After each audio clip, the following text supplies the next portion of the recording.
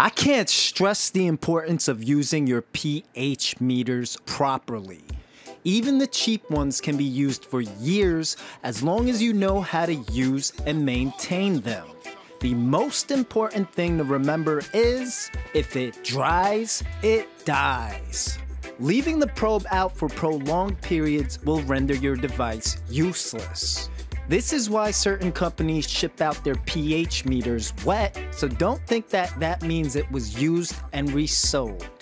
A pH meter's electrode is composed of three glass layers that needs ions to remain hydrated to detect changes in pH. When it dries, it leads to less sensitivity, which results in drifting pH values, slower response times, and incorrect values.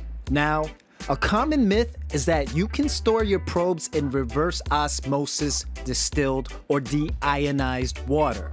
This is absolutely not true, and it's just as bad as letting the probe dry because water that has been purified has all of the particles that could potentially hold the ions removed.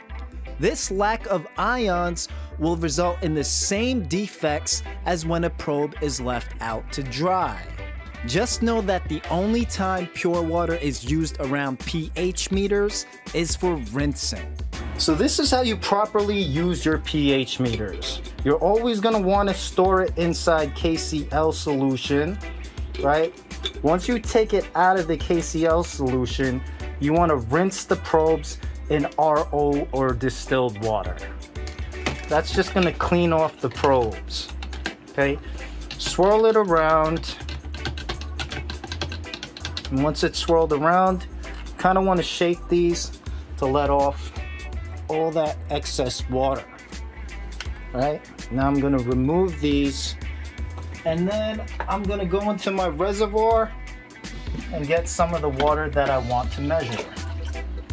You don't need a lot, you just need enough to fully submerge the probes.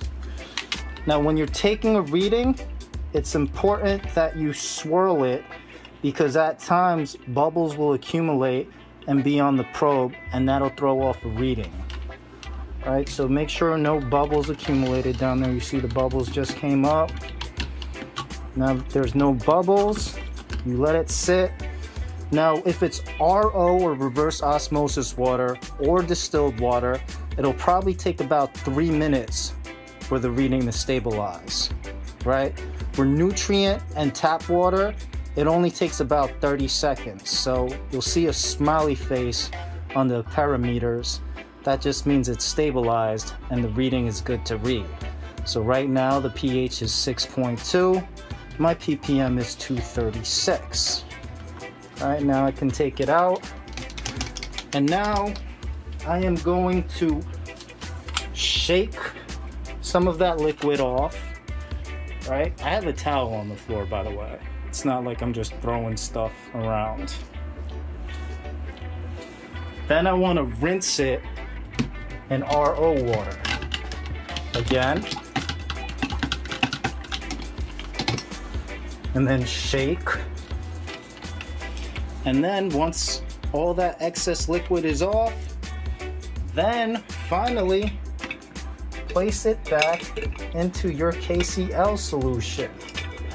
That is the proper way on how to use and store your pH meters. As seen in the footage, to properly store your pH meters, it's best to use a potassium chloride solution, also known as KCl.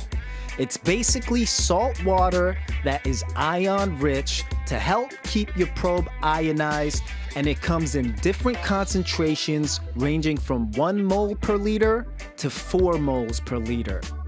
A list of the brands and their recommended concentrations are in the description.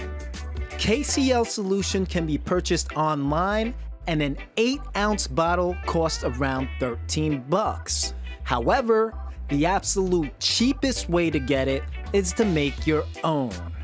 For a tutorial on how to make your own KCl solution, check out the link on the top right.